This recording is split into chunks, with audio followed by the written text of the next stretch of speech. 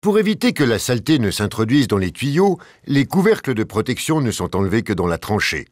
Ensuite, l'intérieur de l'emboîture est nettoyé avec un chiffon et la rainure d'arrêt de la chambre d'étanchéité doit être vérifiée à l'aide d'un grattoir à fente. La chambre d'étanchéité ne doit pas être lubrifiée avant l'insertion du joint. Le joint est alors inséré en utilisant une boucle en forme de cœur et, si nécessaire, à l'aide d'une contre-boucle. Il faut ensuite vérifier que le joint d'étanchéité est correctement installé et qu'il ne dépasse pas de la rainure d'arrêt.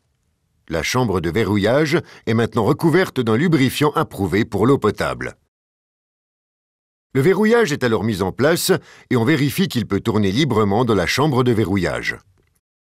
Puis le verrouillage et le joint d'étanchéité sont également recouverts de lubrifiant. L'étape suivante consiste à installer le collier pour emboîture de l'appareil de montage. Il faut s'assurer que les côtés courts des étriers sont en contact avec l'extrémité de l'emboîture. La vis de verrouillage doit ensuite être serrée à la main. Le tuyau suivant dans la tranchée peut maintenant être soulevé.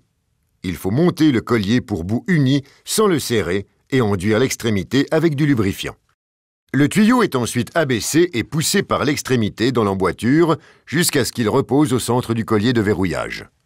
Les axes des tubes doivent former une ligne droite horizontalement et verticalement.